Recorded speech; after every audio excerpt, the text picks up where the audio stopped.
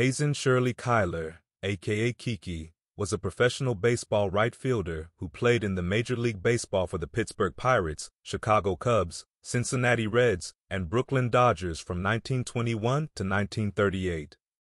Cuyler led the National League in stolen bases four times, runs scored twice, and had a batting average over .350 on four occasions. He won the World Series in 1925 with the Pirates and was elected to the National Baseball Hall of Fame in 1968. Born in Harrisville, Michigan, Cuyler was a talented athlete in high school and excelled in baseball, football, basketball, and athletics. He did not drink or smoke throughout school. He began his professional career with the Bay City Wolves in the Michigan-Ontario League in 1920. Cuyler was known for his speed and batting average, but his career was plagued with injuries.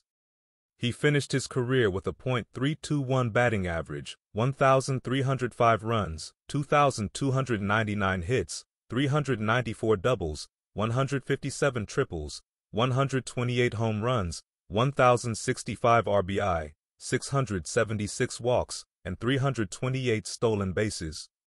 He was later inducted into the Baseball Hall of Fame in 1968.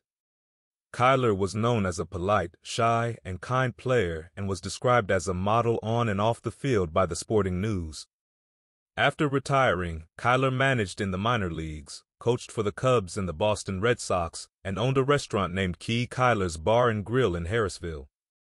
He passed away on February 11, 1950, and was interred in St. Anne Cemetery in Harrisville Township, Michigan.